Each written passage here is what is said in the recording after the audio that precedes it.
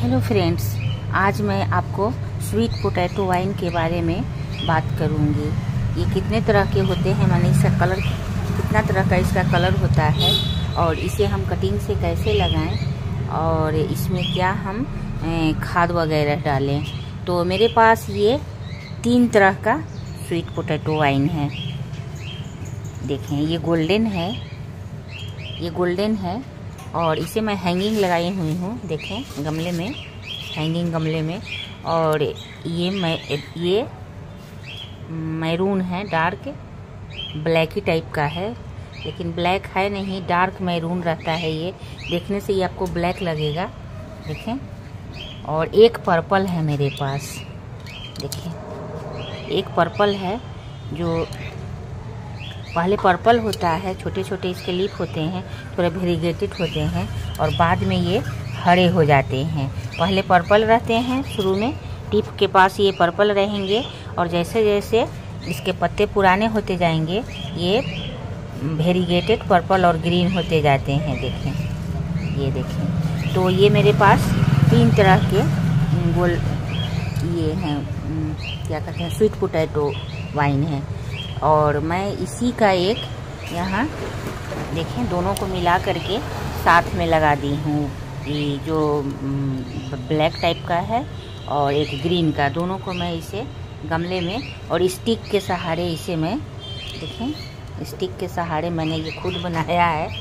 नारियल के छिलके से और जाली से, मच्छरदानी की जाली से तो इसे मैं देखें दूर से कितने अच्छे लगते हैं। ये मैं तीन चार महीने महीने पहले ही लाई हूँ और इसके पत्ते देखें, कितने बड़े बड़े होते हैं, देखें। पत्ते देखें।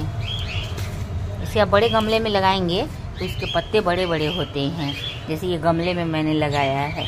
और हैंगिंग में थोड़ा इसके पत्ते छोटे छोटे होते क्योंकि इसे सहारा यदि मिलता है ना तो इसे पत्ते को बढ़ाने में ये होता है। लटक जाता है तो हमें लगता है कि उतना इसके पत्ते बड़े नहीं होते हैं, क्योंकि हैंगिंग में ये उतने बड़े नहीं हैं जितने बड़े ये पॉट में हैं। तो इसे कैसे लगाया जाता है? इसे कटिंग के द्वारा देखें जैसे यहाँ ये, जैसे मनी प्लांट आप लोग लगाते हैं, जैसे यहाँ का पत्ता निकाल दें और यहाँ इसको कट करके और नीचे ज़मीन में लगा दें या गमले में लगा दें। सबका जैसे ये है तो ये थोड़ा नया नहीं लगाएँ, थोड़ा पुराना लगाएँ। जैसे जो पुराने डाल हैं आपके, जो पुराने डाल हैं, ये देखें। इसमें से जैसे एक लीफ, जैसे मनी प्लांट का लगता है कि एक लीफ, एक दो लीफ का हटा दें और उस नोट को धरती में या ज़मीन में या गमले में आप इसे लगा दें। तो ये आसानी से लग जाते हैं और आप नर्सरी से भी इसे ला सकते हैं। मैं तो नर्सरी से ही लाई हूँ, क्योंकि ये मिलता नहीं है किसी के यहाँ। बहुत कम देखने को मिलता है। तो मैं इसे नर्सरी से लाई हूँ। तो आप लोग भी इसे लगाएँ। और खाद में इसे बर्मी कंपोस्ट या गोबर की खाद भी आप दें। इसमें तो कोई फ्लावर आएगा नहीं, जो आप फ्लावर का फास्फोरस वगैरह ये सब डालिएगा।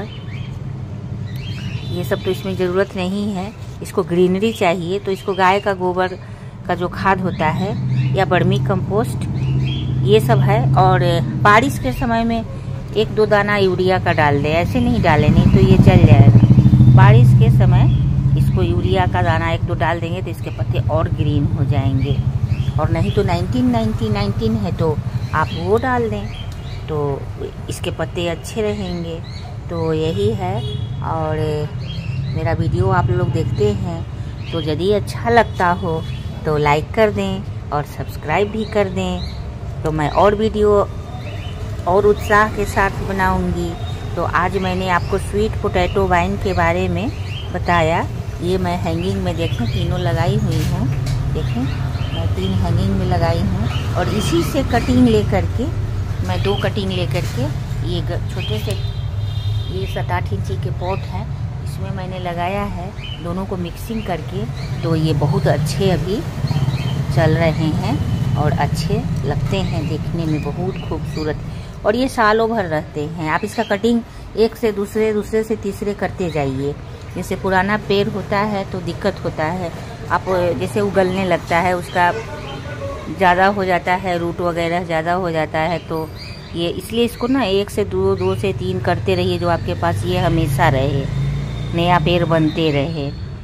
तो यही है। आप लोग